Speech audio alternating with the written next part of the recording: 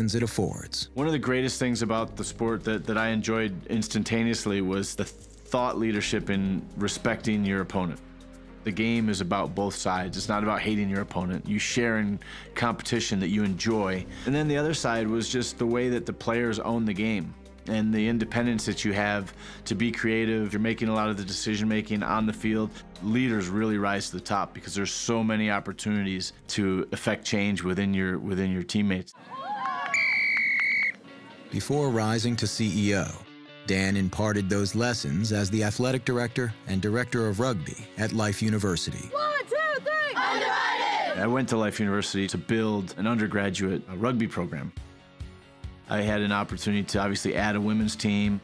We were able to really grow and utilize a lot of great people and leverage a lot of talents that those people had and put people in a situation to have success. As part of this vision, Dan hired Rosalind Chou at the start of the 2014 season. Although never a head coach, she brought 20 years of experience at the collegiate and club level, and Dan recognized her wealth of talents. At the time, I didn't see it in myself, um, but he saw something in me that showed that I had potential and he believed in it, and so then it became a reality. In her first season, Chou led the team to a 10-1 record and has since amassed several championships, developing national all-star athletes. Probably of the 40 or 50 people I've hired throughout my professional career, she might be number one or number two. She's consistent.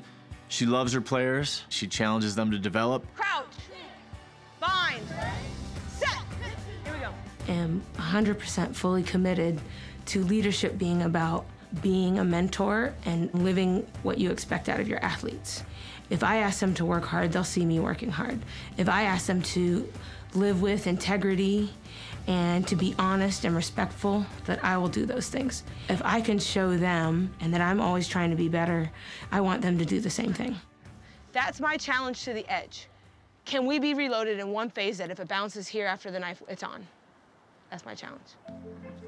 Beyond the awards and titles, the core values of the program and sport have forged champion athletes who lead on and off the pitch. Well, and that's what Roz does a great job at. She uses sport to develop the person.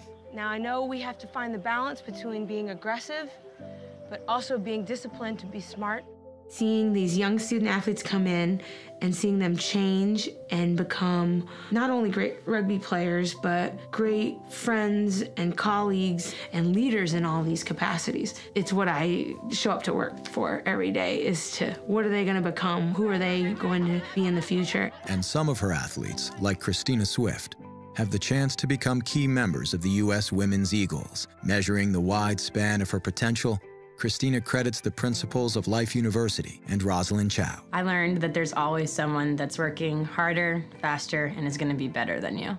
She's the overall role model that I look up to. She has taught me to be into the complete growth mindset and have the complete opportunity to keep growing. With rugby acting as an instrument for personal growth and achievement, Rosalind Chou's story is an affirmation of the game's many gifts. For today. I'll pull up and drive along that bottom field really slowly and just kind of look at it and think about how lucky I am to be here at this program and the student athletes that I get the opportunity to be around every single day. And I'll just drive up and be like, this is amazing.